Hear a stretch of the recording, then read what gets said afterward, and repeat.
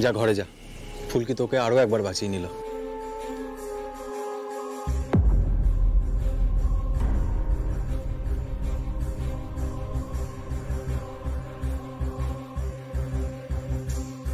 এভাবে সমাধান হয়ে গেল সমস্যার এটা বোধহয় জামাইবাবুর ভালো লাগল না।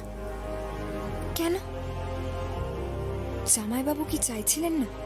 স্যারকে সত্যি বিপদমুক্ত করতে?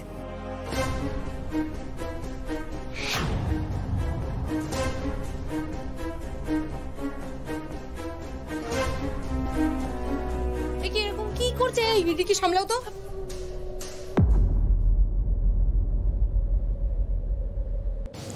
কি হলো আপনার স্যার?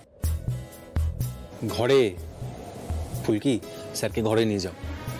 না হলে স্বাভাবিক হবে না। চলুন। চলুন?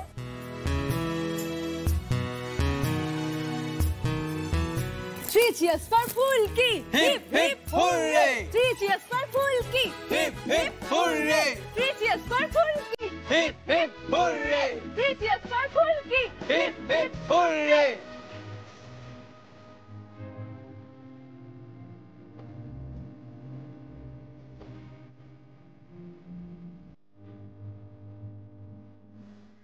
বাবা চল পিয়ার বাড়ির সবাইকে গিয়ে খবরটা জানাই।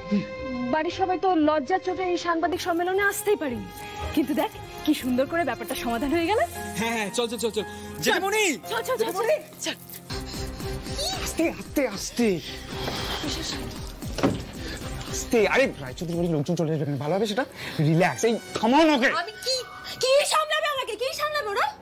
কি সামলাবে রুদ্রদা? আস্তে কথা বলতে পারো না? না পারি না কারণ কারণ আমি কিসের মধ্যে দিয়ে যাচ্ছি? আমি জানি।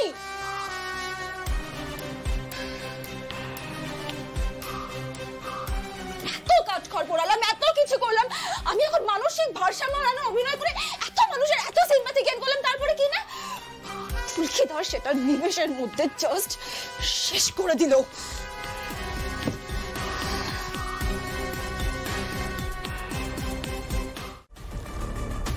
বন্যার সময় বন্যার সময় আমি জানি, আমি কীভাবে লাইফ রিস্ক নিয়েছিলাম। কি করেছে এই রুদ্রদা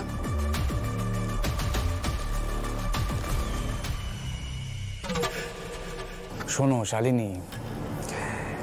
মোহনাপুরার দিকে বন্যা পরিস্থিতি আরও খারাপ হবে। বুঝতে পেরেছ? জল বাড়ছে। আমি বলছি তোমাকে, ওখানে অবস্থা খুবই খারাপ হবে। এরপর কি হবে? ড্যামের জল ছাড়া হবে, লক গেট খোলা হবে। হুম?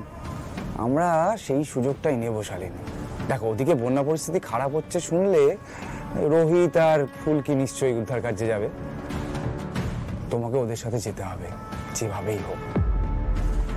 আমি বলতে চাইছি তোমাকে একটু প্রাণের ঝুঁকি নিতে হবে বুঝতে পেরেছ? ইউ ম্যাড আমি প্রাণের ঝুঁকি নেব রুদ্রদা কি বলছো? মাথাটা তো খারাপ হয়ে গেছে সরি আমি পারব না গো শালিনী ম্যাডাম শোনো শোনো শোনো শোনো।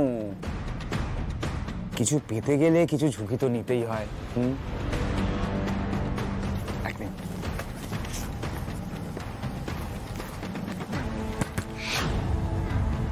এই ফাইলটার কথা মনে আছে? হুম? এতে তোমার স্পোর্টস একাডেমির জমির কাগজপত্র আছে, বুঝতে পেরেছ? তোমার স্পোর্টস একাডেমিটা কবে হবে জানি না। তবে এতদিনে রোহিতের এই বক্সিং অ্যাসোসিয়েশনের শিলান্যাসটা নিশ্চয়ই হয়ে যেত যদি মাঝখানে বন্যা ফোনা না হতো, তুমি যদি বিয়ের বিষয়টা গন্ডগোল না করে ফেলতে। এবার বলো, তুমি কি একটু প্রাণের ঝুঁকি নেবে? হুম? আমার উপর ভরসা করতে পারো। আমি থাকতে আমি তোমার কিচ্ছু হতে দেবো না। তুমি ঠিক থাকবে একদম। কোনো অসুবিধা নেই। কিন্তু এই সুযোগটা যদি আমরা নিই শালিনী তাহলে কি হবে? সাপও মরবে আর লাঠিও ভাঙবে না। ভেবে দেখো বড় হয়েছে। এই বিষয়টাকে তুমি কি করে সামলাবে বলো? শালিনী মিত্র ন্যাশনাল লেভেলের বক্সার তার সম্মান যদি এত ঠুনকো হয়, তাহলে কি করে চলবে?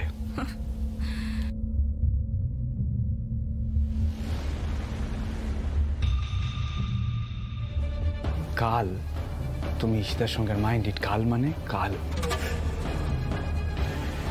ডক্টর দত্ত চেম্বারে যাবে।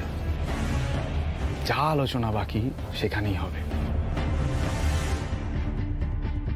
নতুন কোনো পন্থা বের করতে হবে, যাতে মানুষ পুলকি দাসের কথায় পুরোপুরি বিশ্বাস না করে বা কোনো ডাক্তারি উপায়, সেটা কাল হবে। এখন তুমি চিৎকার করে মরে গেলেও আমি এটা নিয়ে আলোচনা করব না এখানে, শালিনী।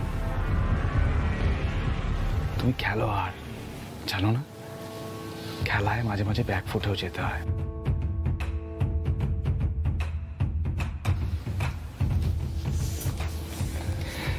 খেলা বোঝে, রাজনীতি বোঝে না, বোঝাও। আমি গিয়ে দেখি ওদিকে কি কাণ্ড হচ্ছে।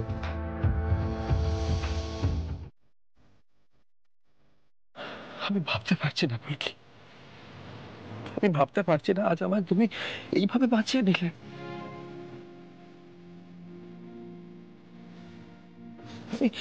আমি না নিজের কাছে নিজের মুখ দেখাতে পারছিলাম না, জানো? আজ অব্দি লাইফে কোনোদিনও এরকম ড্রামে পড়িনি Bulki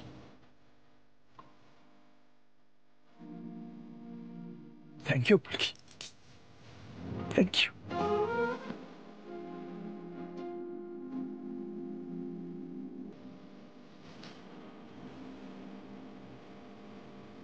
sir আপনি জানেন না। আজকে মল্লিকা ম্যাডামটি আমি কি করে পেয়েছি? মা কালী দয়া না থাকলে এটা হতোই না।